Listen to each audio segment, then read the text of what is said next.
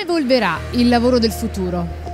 Allora, il lavoro del futuro evolverà in funzione della grande rivoluzione tecnologica digitale che sta caratterizzando i nostri anni e che sicuramente introdurrà tutta una serie di cambiamenti che porteranno verosimilmente molte delle attività che ad oggi vengono svolte da esseri umani essere sempre più svolte da, da macchine, da, da, computer, da algoritmi, il che non significherà necessariamente avere meno posti di lavoro, significherà avere una trasformazione di attività che ad oggi saranno sempre più attività ad alto valore aggiunto, più intellettuali, l'uomo cioè, sarà sempre più chiamato a, a, a compensare fondamentalmente quella sensibilità, quell'emotività, quell'intelligenza anche umana che le macchine sperabilmente non riusciranno mai a, a raggiungere. Perché è importante investire sulle persone? Investire sulle persone è assolutamente fondamentale perché eh, le persone saranno sempre quell'elemento diciamo, creativo che riuscirà a determinare poi i veri cambiamenti. La tecnologia, i macchinari sono,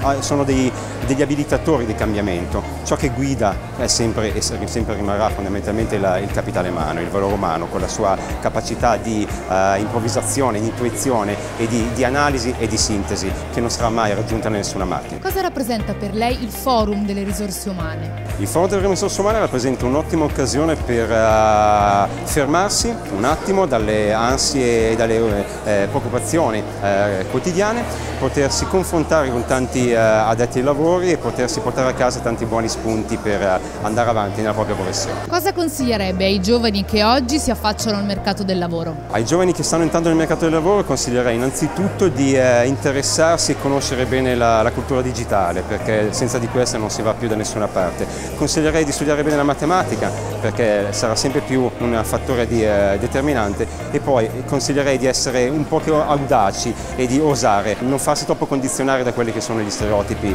eh, che spesso noi stessi li imponiamo. Il futuro è delle risorse umane? Io credo che il futuro non sia delle risorse umane, credo che il futuro sia delle persone.